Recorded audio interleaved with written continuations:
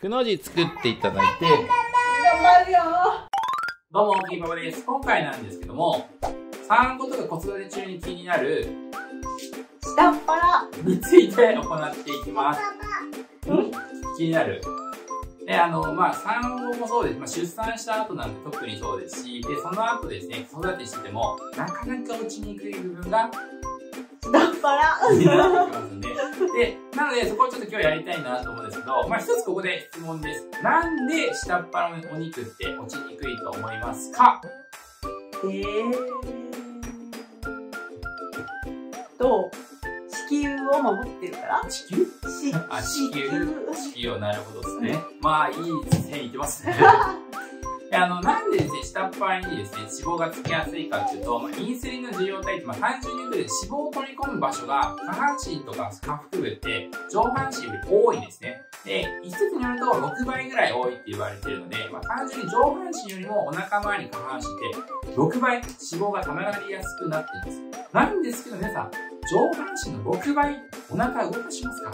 足動かしますかってとこですけど、どうですか ?6 倍下腹部使ってますか？使ってないです。ですよね。っていうところで、今日はですね、しっかりお腹の下っ腹にフォーカスをして、しっかり動いていきたいなというふうに思いますんで、5分間だけ運動していきますんで、ぜひですね、最後まで一緒にやっていただくと、お腹の下に、ポーンと刺激を感じることができますので、やってみてください。ということで、では、行きましょうか。はいそれでは行きましょう。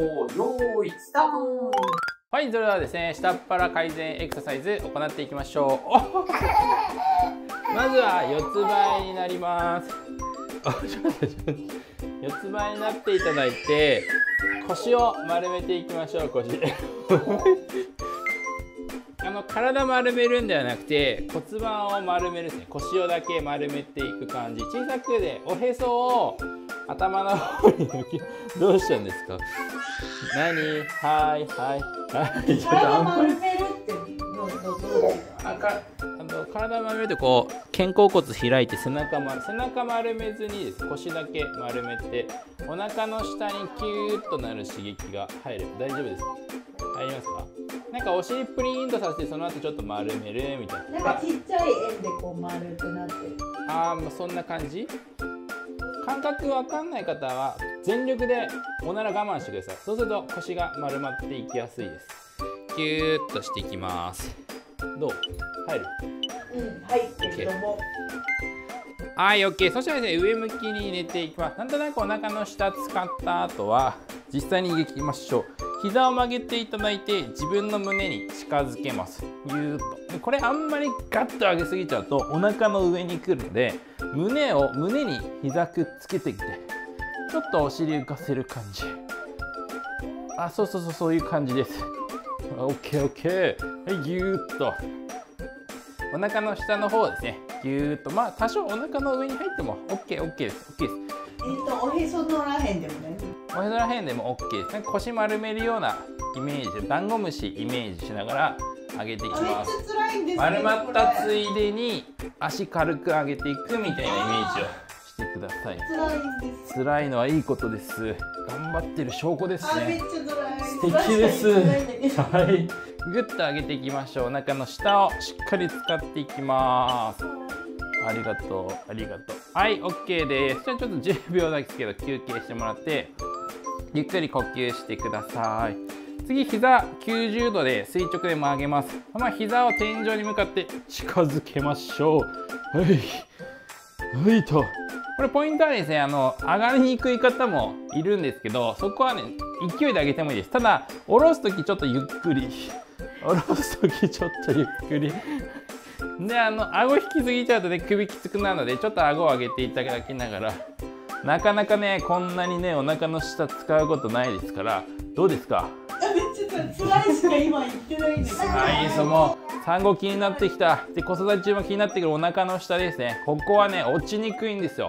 なのでしっかり落ちにくいっていうより脂肪が溜め込む細胞が多いみたいなイメージして はい上げていきましょう。はい。上がりまし上がる風でも OK 調整してることが素晴らしいです。OK です。そしたらね寝ていただこっち来たら？こっち来たら？嫌だ今度足真上に上げましょう。かかとを天井に近づけるように上げてきます。あの50秒きつかったらあの休んでいただいても全然問題ないので。ブーブー。よし。かかとからですね天井に上げていく感じ。よし。かかとからまあ おおワンパンチ。はい。グッと上げてきます。頑張って上げすぎちゃうとこうなってくるんですけどできるだけ真上に上げていくようなイメージ。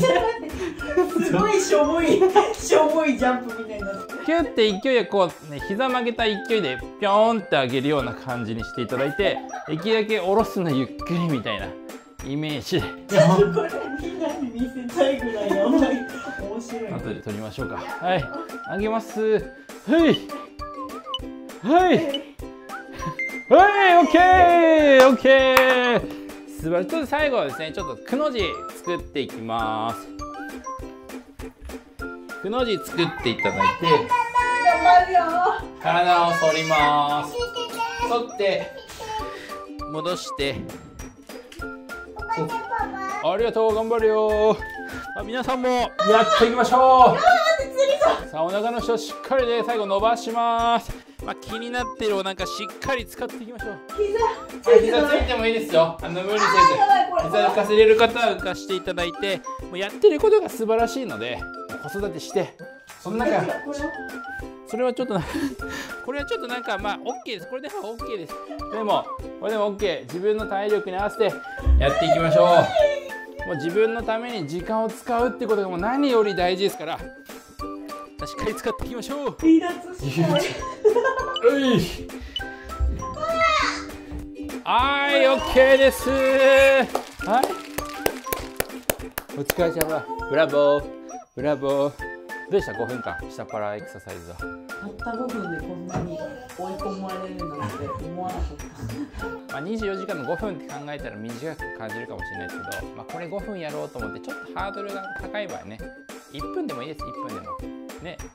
だから誰かと一緒にやらないと無理。一人でだから一緒にみんなで一緒に頑張りたいなみたいな。確かに。きついこと一人でやるっていうのはねちょっとハードルが高いかもしれないのでぜひですね僕ら夫婦と一緒に運動していただけたらと思います。まあ産後ねどうしてもやっぱいろいろ孤独だし。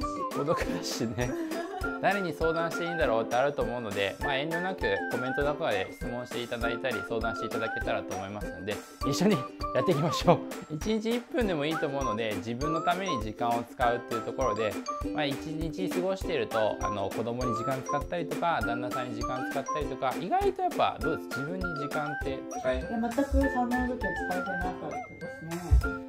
どうでした？1分でも使ってたら。これ僕も反省点ですねえ使ってたら？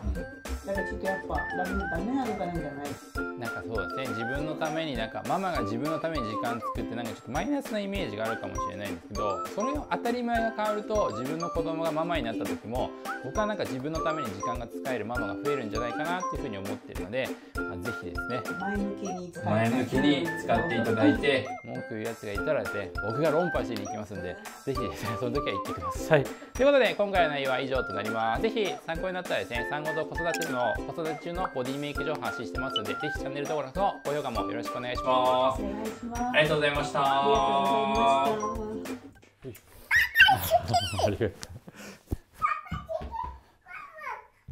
たありがとう はい。脂肪がたまかあーアウト